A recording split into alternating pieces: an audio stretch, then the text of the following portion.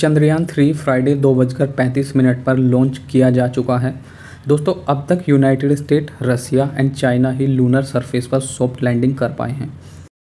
अब India lunar surface पर soft landing करने वाला वर्ल्ड का चौथा देश बन जाएगा, जो कि किसी भी कंट्री के लिए एक बिग अचीवमेंट है।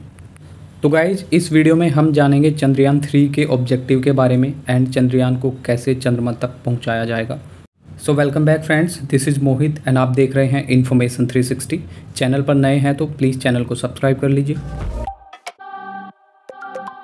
सबसे पहले जानते हैं चंद्रयान थ्री के ऑब्जेक्टिव के बारे में।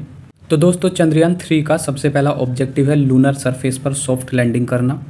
एंड चंद्रमा के एनवायरनमेंट का साइंटिफिक एक्सपेरिमेंट एंड वहाँ पर अवेलेबल रिसोर्सेज का पता लगाना। दोस्तों, अगर बात करें चंद्रयान थ्री मिशन लाइफ की तो इसकी कंप्लीट लाइफ है वन लूनर डे, जो कि चौदह अर्थ डे के बराबर होता है। दोस्तों, चंद्रयान थ्री को L V M three M four vehicle से लॉन्च किया गया है। दोस्तों, इस व्हीकल की हाइट है forty three point five metre and lift off mass है छः सौ बयालीस ton. L V M three rocket vehicle में थ्री फ्यूल इंजन का यूज़ किया गया है। Number one S two hundred booster, number two L one one zero liquid fuel engine, and number three C twenty five high thrust cryogenic engine. तो चलिए step by step मैं इन तीनों engine के बारे में आपको बताता हूँ कि कौन सा इंजन किस टाइम काम करता है। सबसे पहले बात करते हैं S two hundred solid rocket booster के बारे में, जिसमें लगभग 205 टन सोलिड रॉकेट फ्यूल भरा हुआ था।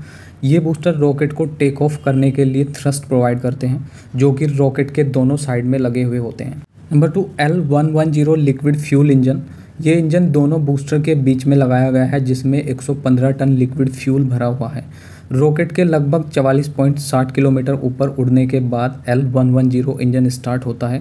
दोस्तों, जब ये इंजन स्टार्ट होगा, तब तक टोटल 127 सेकंड में रॉकेट पहुँच चुका होगा, लगभग बासठ किलोमीटर। दोस्तों, लगभग बासठ किलोमीटर पहुँचने के बाद रॉकेट से दोनों बूस्टर सेपरेट हो जाते हैं।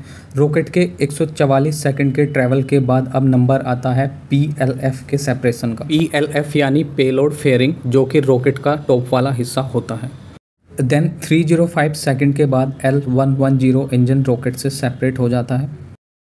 इसके दो सेकंड बाद लगभग 307 सेकंड पर C25 क्रायोजेनिक इंजन स्टार्ट होता है।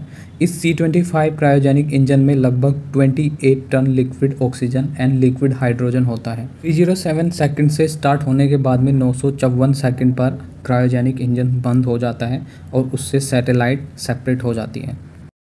इसके बाद सैटेलाइट के पैनल ओपन होंगे एंड मॉड्यूल अर्थ के चक्कर लगाना स्टार्ट कर देगा। लगभग 20 से 22 दिनों तक अर्थ ऑर्बिट के चक्कर लगाने के बाद मॉड्यूल मून के ऑर्बिट में एंटर करेगा। अब मॉड्यूल उसी प्रकार मून के चक्कर लगाएगा जिस प्रकार उसने अर्थ ऑर्बिट के चक्कर लगाए। चक्कर लगाने के बाद विक्रम लैंडर ऑर्बिट से सेपरेट हो जाएगा एंड मून की सरफेस में एंटर करने के बाद सॉफ्ट लैंडिंग करेगा। लैंडिंग के बाद रोवर प्रज्ञान लूनर सरफेस को एक्सप्लोर करेगा। ये mission total one lunar day का होगा, जो अर्थ के 14 डे के इक्वल होता है। दोस्तों, आज की वीडियो में इतना ही। नेक्स्ट वीडियो में मैं आपको बताऊँगा मॉड्यूल लूनर सरफेस पर लैंड करने के बाद में किस प्रकार वर्क करते हैं। थैंक्स फॉर वॉचिंग आप देख रहे थे इन्फॉर्मेशन 360 वीडियो अच्छी लगे तो कमेंट ज़रूर कर